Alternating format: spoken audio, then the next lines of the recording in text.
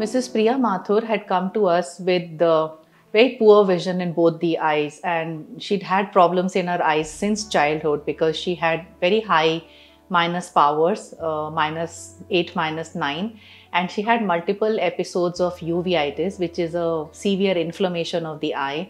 I was uh, told by friends and family about uh, Dr. Parul Sharma, who she has treated in the past. Uh, my doctor uh, asked me to get this uh, uh, eye checkup done because I'm a diabetic.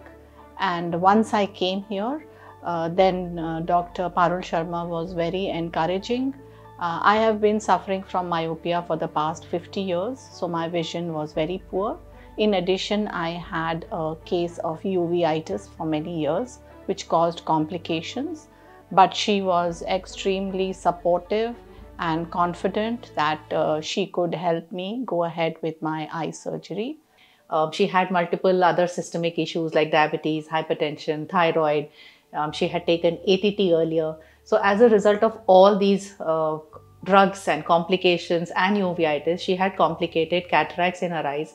A posterior polar cataract in which the capsule is inherently weak, where we have to implant a new intraocular lens, a clear lens for you to see. That support in itself was weak, which was a huge challenge during the surgery.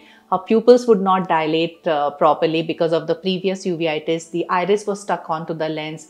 Uh, both the surgeries were done very professionally I had no problem at all.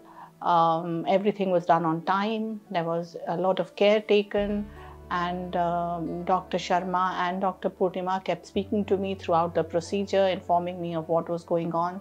And I was also given clear instructions about the post operative care. We had to do the surgery under steroid cover, take a lot of precautions, have a vitreoretinal backup, use different fine instruments to manipulate during the surgery. Uh, the end result has been very good. Uh, she's very happy with her vision.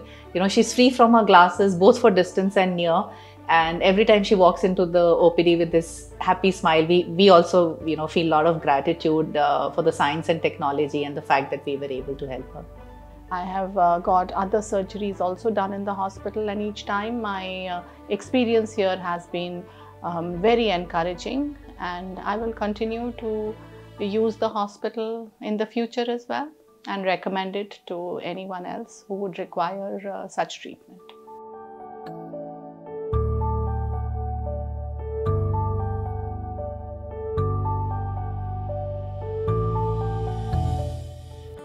Subscribe to our YouTube channel and press the bell icon to get the latest healthcare updates.